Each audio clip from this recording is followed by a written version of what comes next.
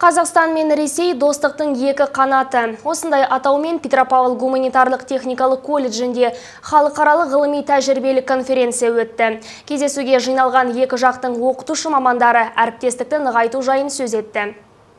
2007 жылы Түмен мемлекеттік университеті Петропавл гуманитарлық техникалық колледж жанынан өздерінің өкілдігін ашқан. Бұл арнайы орта білім алған жастарға оқуларын алысқа бармай жалғастыруларына мүмкіндік береді. Казахстанцы, как и наши ребятишки. Қашықтықтан оқытудың тиімділігі көп. Жыл сана біздің университетте оқитын қазақстандық студенттердің саны артып келеді. Олар негізінен экономика, кеден және заң мамандықтарын тыңдайды.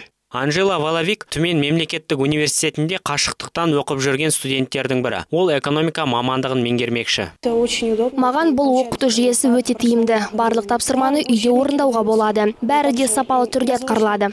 Қазірде колледж бен Түмендік жоғары оқу орны ғылыми тәжірибелік бағытта бірлесе жемісті жұмыс атқарып келеді. Екі оқу орнының оқытушылары өзара шеберліктерінде шыңдап тұрады. Бүгінгі жиында педагогтар екі ел арасындағы татулықты нығайту жайын талқылады. Бүгінге дейін Петропавл қаласындағы Түмен мемлекеттік университеті өкілдігін солтүстік қазақстандық 800-ден аса студент тәмамдап диплом алған. Бақыт Сәдуақасов, Арман муниципалдық телеарна.